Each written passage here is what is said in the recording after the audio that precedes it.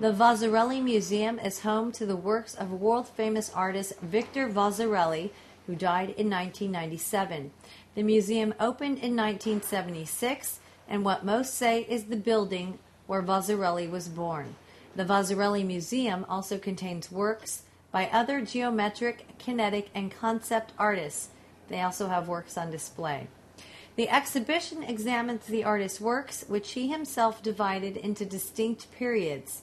He claimed to recognize the inner structure of natural forms and shapes in sea pebbles and the rounded off pieces of broken glass. A visitor's favorite here is the zebras worked into a carpet. This piece is an example of Vasarely's early kinetic experiments in representing space movement time and space illusionism. It was later woven onto large wool carpets, some of which are displayed here. The museum, located in the Janus Pannonius, is closed on Mondays.